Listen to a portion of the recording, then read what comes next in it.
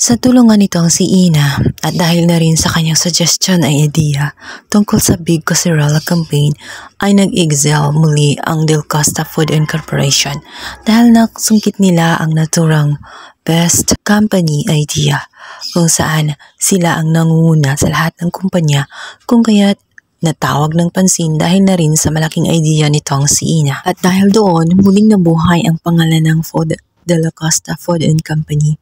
Kaya naman tuwang-tuwa itong si Lola Arya at talagang kinekredit niya ang mga nagawa nitong si Ina dahil sa kanya ay uh, nagbago ang tingin ng mga tao at mas lalong tumaas ang ranking nila. Hindi naman mapalagay itong si Joanna.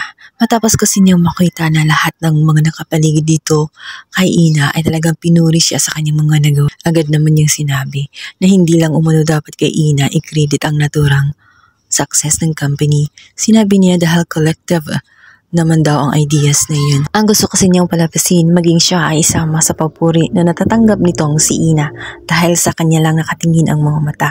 Palibasa ay insecure na insecure siya. Kung kaya da, para hindi nga siya ma-out of place, ay sinabi na lamang ni Ina na kailangan purihin din ng lahat dahil hindi naman ito mangyayari kung hindi sa pagtutulungan ng mga sana nga lang daw ay uh, para manatili ang kapangyarihan ay panindigan at kailangan alagaan nila ito at gawing gawin ang mga best. Nang sa ganon makita ang kahalagahan nito bago pa man mahuli ang lahat at mawala sa kanilang mga kamay. May pinapatamaan at pinapasaringan itong si Ina. Ito ngayon walang iba kundi itong bidabidang si Joanna. Sa kabilang banda, hindi lang pala puro saya ang mararamdaman nitong si Ina dahil sa kanyang mga nagawa. Dahil mayroong malaking problema na kaharapin ang maglola. Dahil nga itong si Lola Arya habang siya ay nagpunta sa CR, bigla na lamang magbabalik sa kanya ang kanyang sakit kung saan ang pinakakinakatakutan niya, ito nga ang Alzheimer. Bigla niyang nakita ang kanyang anak na matagal nang patay na. Ito nga ang si Radante. Sindandan niya ito at agad itong napansin nitong si Joanna.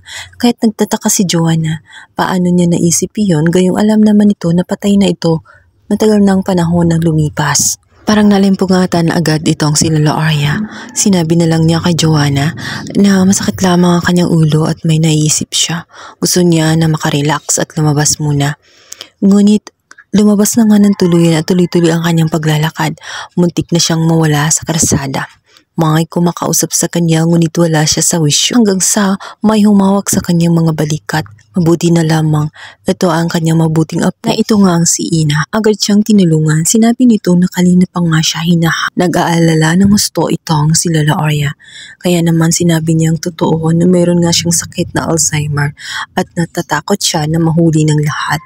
Natatakot din siya na ang kanyang sakit ay gagamitin laban sa kanilang dalawa nang sa ganun ay makuha sa kanya ang posisyon nitong si Ina na bilang CEO at kukunin nga ng mga apo niyang gaham ang naturang kumpanya kung saan hindi naman niya pinagkakatiwalaan dahil na rin sa wala itong mga kakayahan kagaya ni Ina. Kaya naman sa pagkakataong yun, hiniling na nga ni Lola Arya na gawin ang lahat ng magkakaya nitong si Ina upang protektahan siya laban sa mga masasamang nakapaligid sa kanya. Nangako naman ni si Ina na gagawin yun alang-alang kay Lola Pink.